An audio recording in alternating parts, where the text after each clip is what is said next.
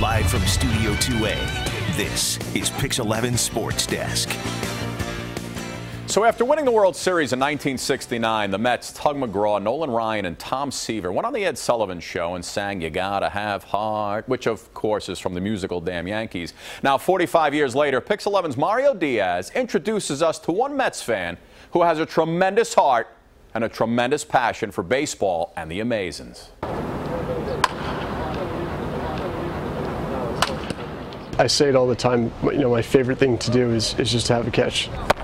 Will Gerhardt has a heart like no other for baseball. I realized this when I first met the 21 year old miles away from his high school field in Watchung, New Jersey. The Syracuse broadcast major wanted to shadow me and learn about the industry. As it turns out, I learned much more by listening to him. So when I was 16 years old, I had a sudden cardiac arrest. I had no heart rate for a couple of minutes. You know, my pulse was, was dead for, I believe it was about two to three minutes before that means you were dead. Correct, yes. For the next three days, Gerhardt was in a coma. The sudden cardiac arrest was not due to being out of shape. Instead, his heart was inflamed, paralyzed by myocarditis.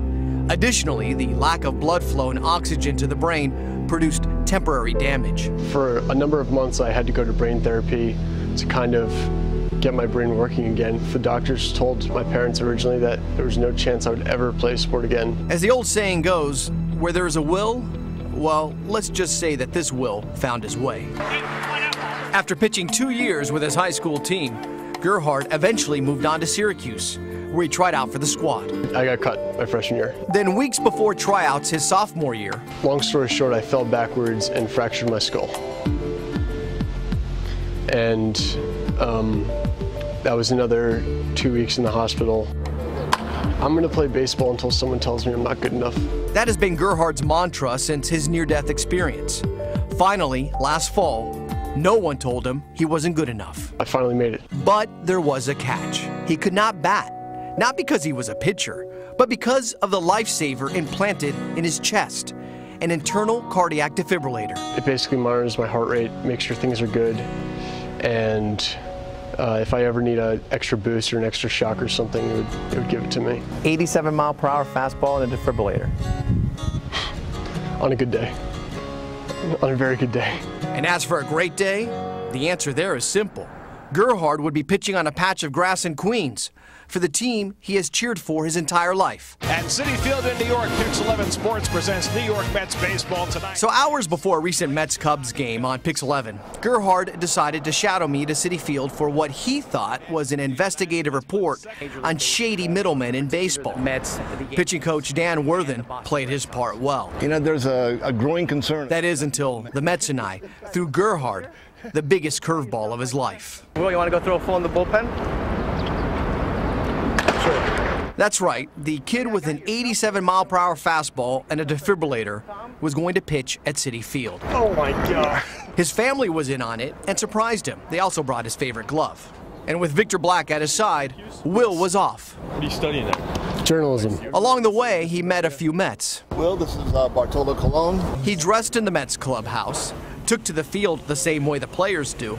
I just gotta stretch my hips a little bit. Loosened up in right field, warmed up under the scoreboard, and even received advice from skipper Terry Collins. By the way, don't get hurt today. Then after some tutelage from Warthen, and that thumb should be all the way under there. Gerhardt fired away. And with pitch after pitch after pitch, his heart stronger than ever. He was living out his dream. I couldn't even put a word to it to describe how amazing it is, to describe how amazing just this whole experience is. I mean, I'm sitting in the Mets dugout and, man, I never thought this would happen. And as Gerhardt walked away from this day, it should be noted that Major League Baseball has never had a player with a defibrillator. But as evident, this pitcher's heart is too big and his will too strong. I'm going to play baseball until someone tells me I'm not good enough. For the Pix 11 Sports Desk, I'm Mario Diaz.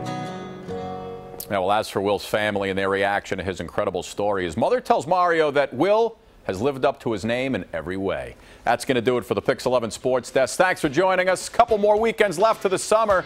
Enjoy them, folks. I'm Scott Stanford. Good night, everyone.